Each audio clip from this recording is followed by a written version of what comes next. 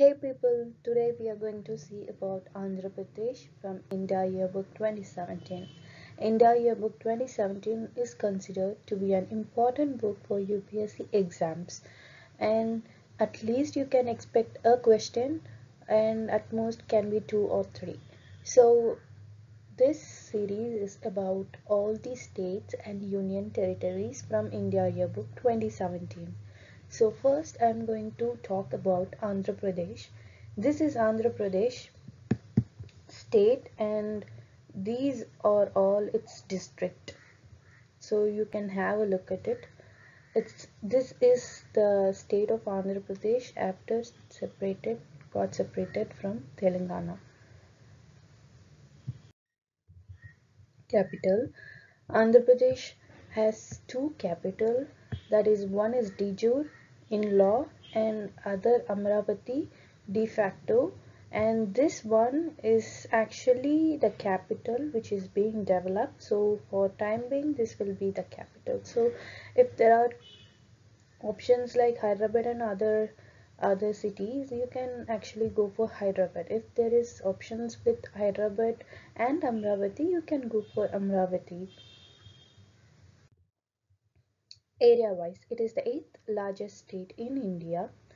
CM N. Chandrababu Naidu, Governor ESL Narasimhan. So this is ESL Narasimhan and this is C. N. Chandrababu Naidu. High Court. Both Andhra and Telangana share the same High Court. It is in Hyderabad. This is their High Court. Population, overall population for the state is 4.9 crore and this is as of 2011 census. And overall population in India Andhra is in 10th position so 10th in population. Languages spoken is Telugu Urdu Hindi and Banjara we always tend to think that Telugu is the only prominent language spoken in Andhra Pradesh. But I will tell you in later slide why Urdu Hindi Banjaras were also spoken in Andhra Pradesh and it has the second longest coastline after Gujarat. Uh, obviously, Gujarat has the first coastline, longest coastline. This is the second longest, and the coastline is along the Bay of Bengal. Shares border with Tamil Nadu, Chhattisgarh, Telangana, Karnataka, and Odisha. Uh, you can expect a question like, uh, what are all these states bordering Tel uh, sorry Andhra Pradesh and you can answer like Chhattisgarh, Tamil Nadu, Telangana, Karnataka and Odisha. So these are all question places. This is about their small history. Acharya Brahmana 2000 BC actually gives a, a small history about Andhra. Andhra people are originally an Aryan race living in the North India migrated to south of India later mixed with non-Aryans. And that's how they got the name called Andhra people. And this is also mentioned in Andhra Desa which is uh, uh, written in 236 from 236 BC and this 236 BC is also the year of Ashoka's death so you can correlate and remember. So about the rulers this is the chronological order of the rulers I've given in the order. So first one were Satavahanas, Sakas, Ishakus, Chalukyas, Kakatiyas, Vijayanagar and last were Nizams. What happened to Nizams? Why, were, why weren't they very powerful after that? Because British then annexed it from Nizams and formed a single province called Madras. So after independence, Telugu speaking area were separated from Madras and Andhra Pradesh was formed in 1st October 1953. Hyderabad, Andhra state merged together in State Reorganization Act of 1956 on 1st November 1956.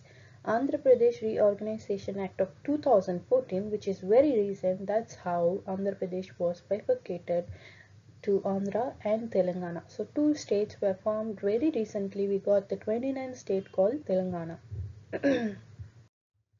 literacy rate. So overall literacy rate of Andhra Pradesh is 67.41 percentage as of 2011. So it's taken in 2011. It includes Telangana as as well as Andhra Pradesh. So the next census will be in 2021 so this will be the entire answer for both the states emblem purna kumbham is the emblem for andhra. This is their emblem and this is the kumbham. Song state song is ma telugu thalliki. Dance is kuchipudi. Kuchipudi is a famous famous dance form and this is kuchipudi. This is how they wear the costumes and everything are actually. And animal blackbuck. This is blackbuck bird indian roller very beautiful bird indian roller and flower is blue water lily. This is blue water lily. Fruit is mango. And and tree is neem neem tree. And they have four major rivers in their state. And they are godavari krishna pennar and tungabhadra. And sports they these four rivers actually exist in this bay of bengal. And sports is kabaddi. Kabaddi is a famous sport these are all the small points about andhra. Now we'll look into their culture. It's very important. You can expect a question in art and culture from these places. So have a look at it in detail of them. I've also added uh, points from google. So it's not only from india yearbook. I've also added points. So you can have this one stop for knowing about andhra pradesh so andhra pradesh has a rich cultural heritage. Kuchipudi is the state dance originated from the village kuchipudi. That's why it's called kuchipudi and it's in krishna district. So there are 14 gi tags uh, for handicrafts foodstuffs textiles etc so you can have a look at it. Most of them are related to saris fabrics and uh, prints. And their famous print is called kalamkari. I'll tell you why they are famous because they're very famous about the art and culture as i told you kalamkari it's very famous and it's from machilipatnam and srikalahasti these are the two unique places which actually print the kalamkari kalamkari is actually a painting which is being printed on fabrics and textiles so people wear kalamkari dresses and it's very famous Music is Carnatic. Carnatic music is very famous. Literature. About literature, Nannaya, Tikkana and Yerrapragada. Uh, sorry if I'm not spelling it right. Uh, from the Trinity who translated the tra Sanskrit epic of Mahabharata into Telugu language. So these three are the people who translated Mahabharata. And cuisine, about the cuisine, uh, Telugu people's traditional sweet, Pute Putharekulu. Putharekulu originated from Athreyapuram village of Andhra Pradesh. So this is a famous traditional sweet. You can have a look at them in Google. If you Google, you will get the picture. So next is agriculture.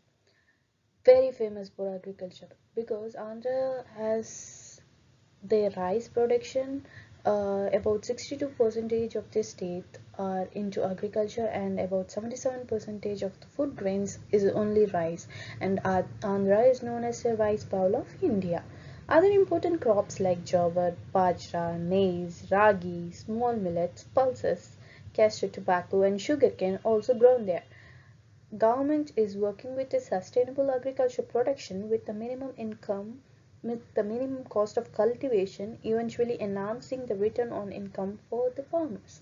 So they give Ninas free supply, uh, current supply and subsidized seed, interest rates, crop loan, etc. for developing their agriculture sector. And Andhra Pradesh is in first position for crop loan from commercial and cooperative banks. So people are very active in getting loans and also cultivating rice crops and earning from it. Andhra is very good in agriculture and this is about agriculture. And about the irrigation, Andhra Pradesh has a project program called Jalayagnam. 86 projects are taken under this program and it is very famous. Recently it's given in India yearbook. So program aims at completing the ongoing and the new projects in record time to provide immediate irrigation to water starved areas on top priority by mobilizing the funds from all possible sources so this program allows the areas which has no water to actually and get access to the water and they can actually cultivate all their crops in their area so it's very famous and Jalayagnam is the word you have to remember that and the scheme about it power Andhra is a power surplus state. You have to remember about it. Andhra is a power surplus state. They actually produce more power and they actually give it to other states. So solar power is actually very famous recently in Andhra Pradesh. The pioneer national wide in solar power generation. They are the pioneers. AP Genco is the power generating company owned by the state and the state become the power surplus with excess power generation being exported to other states as I told you and they also have hydroelectric and thermal power plants. Hydroelectric, the famous ones like Nagarjuna Sagar, Neelam Sanjeevareddy, Tungabhadra Hydel project are the famous ones. Thermal power projects like Nellore, Ramagundam, Kothamangadu, Vijayawada, Muddanur, Simhadri are the famous thermal projects. So they are power surplus. We have to have a idea about uh, power surplus state. Then you always think about Andhra Pradesh. So industries. Uh, Andhra Pradesh is recently developing in industries. So the state government is extending various incentives for SSI and tiny sectors and large sector, large and medium scale industries. So the power tariff concession is also there, allotting land, relaxing labor laws, special economic zones. So these zones were created and they are uh, they're giving so many concession to them. So 59 IT and ITES special economic zones with active private sector participation is also there in Andhra Pradesh. About the mines and geology, Andhra Pradesh is known for its varieties of rocks and minerals and it is known as Ratna Garbha. Ratna Garbha is the place where you can get a lot of mines. So the largest deposits like chrysotile and asbestos are there in Andhra Pradesh. Andhra Pradesh also have other min minerals. They are copper ore, manganese, mica, coal, limestone, etc. Singareni coal mine supply coal to the entire South India. So it is a huge coal mine. As I told you, Andhra is a Ratnagarbha.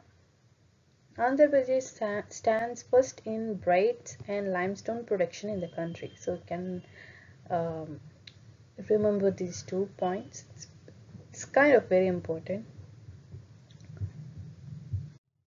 Housing. About the housing Andhra have a scheme called Rajiv Swagruha and the scheme is moderate moderate earning people and for affordable cost that is 25% less than the market price. This is for moderately earning people.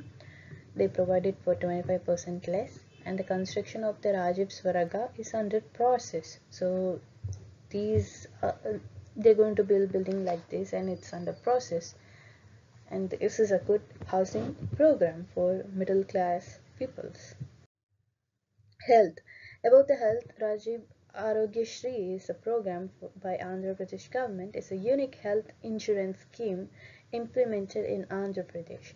This enables the poor suffering from chronic disease to undergo treatment up to 2 lakhs. Choice of the hospital of the treatment is with the patient.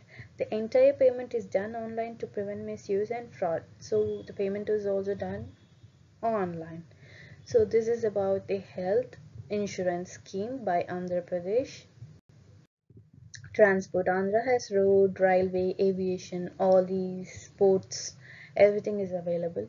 And about aviation, they have seven airports in which Tirupati and Vishakhapatnam are the two only international airport and other like Kadapa, Puttaparthi, Rajahmundry, Vijayawada are domestic airports. Ports, they have one major port known as Vishakhapatnam and 13 non-major ports that is under state government. Tourist centers. Andhra Pradesh Tourist Center Development Corporation has ecotourism, beach tourism and cruise tourism. These are the tourist places I've put in together. I'll tell you what are all the important tourist places. Places like Charminar is very famous.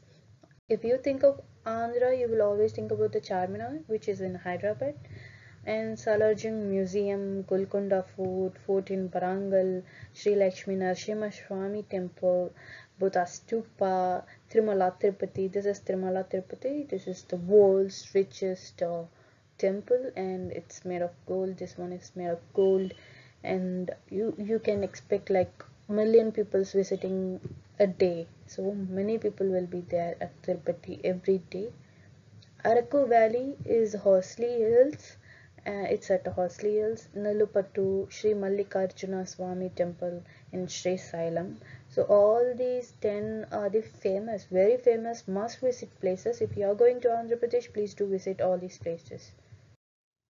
Important one one important thing about Andhra Pradesh is space research organization that is ISRO. They have their Sri Harikota in Andhra Pradesh, a barrier island of Sri Harikota in Nellore district of Andhra Pradesh is a satellite launching station.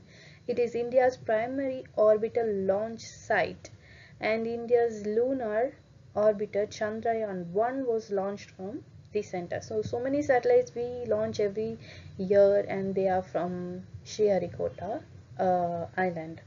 So, this is very famous in Andhra Pradesh. You have to make a note about this space uh, you know, research organization.